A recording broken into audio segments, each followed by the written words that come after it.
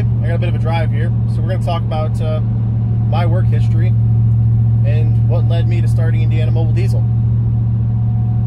So we've covered in a couple live streams, but one of the big things is I've worked for quite a few different shops, and I've seen every wrong way out there to run a business.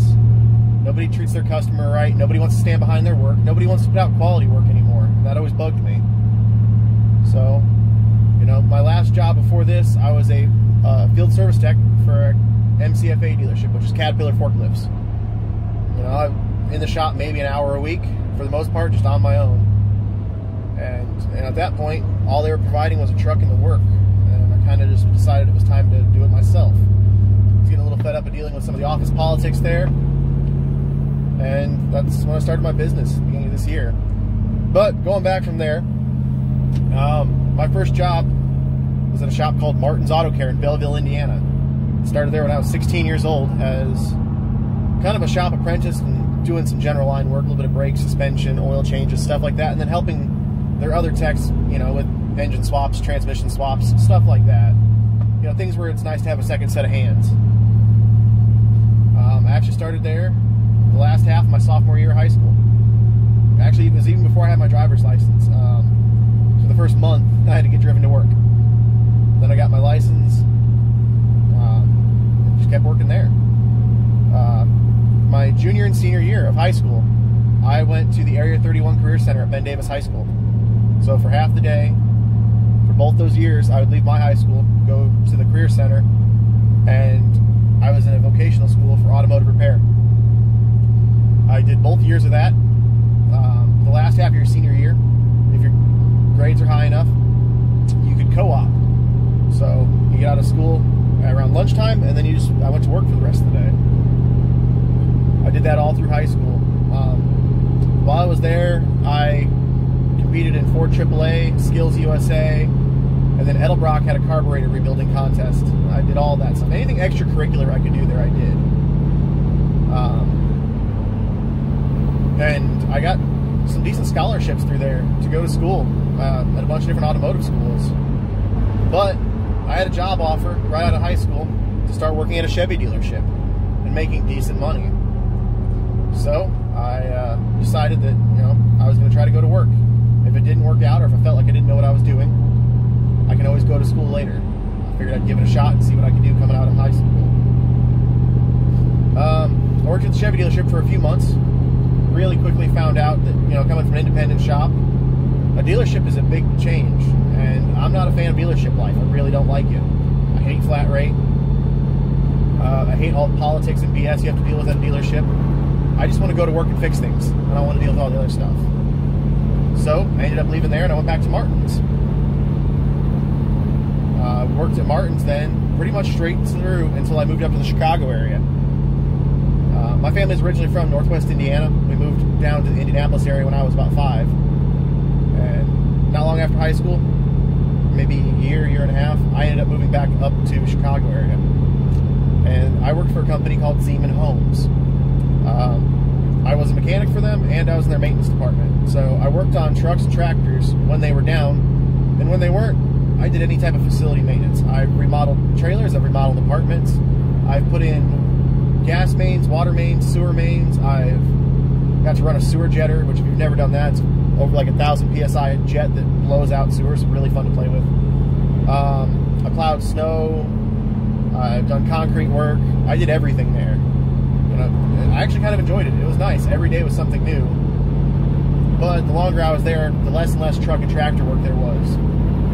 They were so far behind, they stopped letting me do stuff they started sending them out to shops to do so they could have me help me out on other projects. But I worked up there.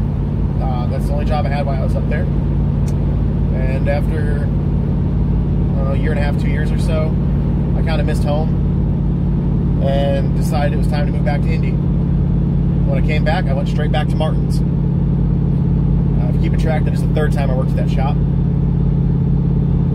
And I worked there for a while, and I mean, it wasn't bad, but the money was never great there. I mean, it, it's out in the middle of nowhere. They don't pay a lot, but I do get to work on a lot of stuff there. You know, I, I've worked on everything from little Kubota diesel tractors to semis to dump trucks to Porsches to, you know, uh, farm trucks. I mean, everything came through that shop, and they wouldn't say no to working on anything. So I worked there again, and it was just getting to the point with them that the money wasn't there, and I had an opportunity to go to Andy Mohr Ford in Plainfield, Indiana, Indiana's largest Ford dealership. And I worked there. I went there. I was the electrical technician for that dealership. When I started, there were two of us. One of them left, and for a while I was lead electrical tech. And then the other one returned. He left and went to Mercedes for a little while and realized that Mercedes just wasn't for him. Um, I learned a lot there that really brought up my electrical diagnosis abilities. Mean, I was maybe average at best when I came in there on my electrical diag. And, you know, now there's nothing electrical that scares me for diagnosis. I, I really came up a lot when I was there. But getting towards the end of working there, um, I wanted to come out of just doing electrical and get into some heavy line. I like doing engine work. And I had been pushing for a while with the manager to try to get into the diesel department because I love diesel. And they just weren't having it. And I had an opportunity to go to TMC, which is a fleet shop for a trucking company. Uh, I'd sat and talked with them for a while, and they had really sold that up to be the perfect job. And right after starting there, I realized that almost none of what they told me was true. It was nothing like what they had, you know, said. I had asked to see some of the work orders, to see what their average workflow looks like. I clearly asked them what type of work we do in shop, what gets sent out, you know, on average, what kind of time am I going to spend doing real work versus, you know, buffing paint wheels and doing, you know, lights and minor stuff. And they had talked it up like it's a pretty even split, that we would do some big work there. And every time I diagnosed something there that was a bigger problem, they pretty much just said, don't worry about it. We're not going to fix that. It's not worth it. Um, I was only there for three months. Uh, towards the end of it, I had an opportunity to go to Bill Estes Ford in Brownsburg, Indiana, because I still had a bunch of current Ford certifications and training. And they were looking to expand their diesel department. They had one diesel technician and one apprentice, and they really wanted to crank up their diesel work. Uh, they were getting a bigger market share in the area, and they needed the people. So I went on there as a diesel tech. Um, I had someone working underneath me as an apprentice while I was there. Maybe three months, four months into it, the other diesel technician had left to go to another dealership, I got thrown in as lead diesel tech. And I held that position right up until just before I left, when that technician had returned. And uh, the, the whole deal behind him returning was kind of shady. There was a large cash bonus to return. He got his lead position back, which means I had to take a pay cut obviously, since I wasn't lead anymore. Which, to be fair, he did have more time and more experience, but I also don't feel like that was the right way to handle the situation. Wasn't too happy. And then I went to Wiese.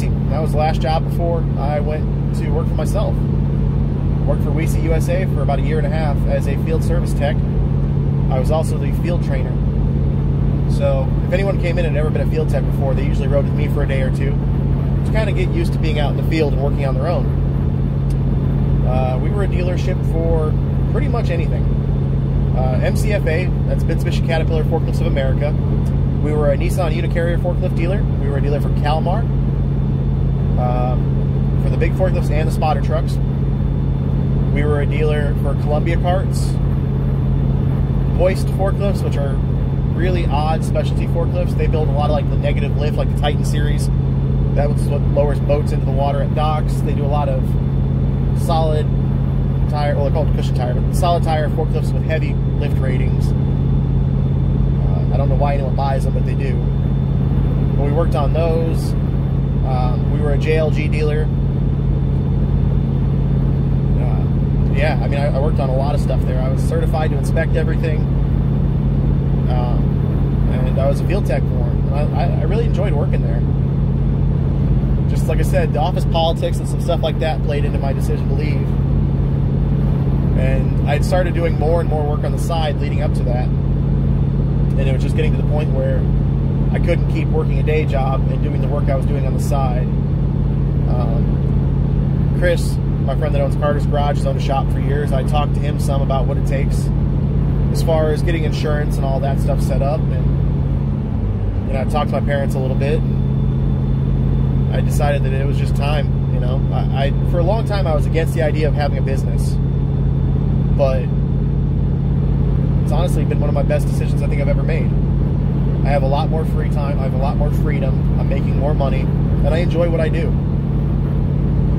Um, I get to work on a variety of stuff again, which I've missed that since I've left independent shops.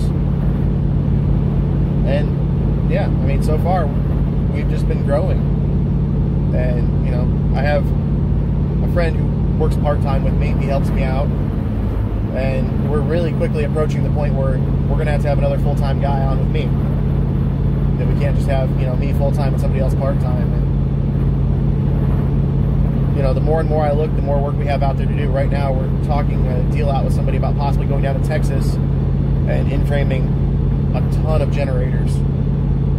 And you know, if I do that, I'm going to need at least another full time guy, if not two more full time guys, just to keep up with the generator demand. Trying to get that contract negotiated, and hopefully, we get the bid on that one. But it's been great so far. You know, I, I really enjoy what I do. And, you know, I've had a YouTube channel forever, never done anything with it. And that's another thing that I started messing with more now that I'm out of the shop, which I really do wish I would have made videos back when I was in the dealership because there's a lot of good stuff I could have showed you guys back there. But even now, you just see the variety of stuff that I work on. You never know what it's going to be from day to day. I love that.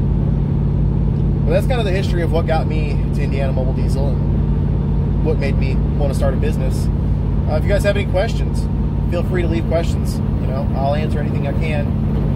Um, if you're not following us, you can follow us on Facebook and Instagram at Indiana Mobile Diesel. If you want to follow me, you can follow me on Snapchat or Instagram at Spike383. Those are all in the end card. We also have the phone number and email address for the shop always in the end of our videos. If you guys are in the Indiana area and need any work done, or even if you're a little farther out, we travel. Um, feel free to get a hold of us. I will admit I'm not the best at answering the shop phone.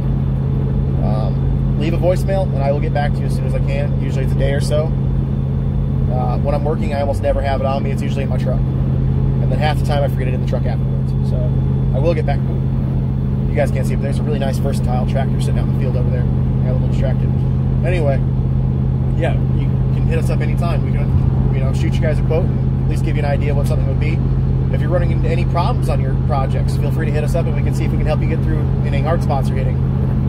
You know, I'm more than happy to share my knowledge with anybody that needs something done. Um, we have a Patreon. Uh, it's part of our Pay It Forward program that we're doing.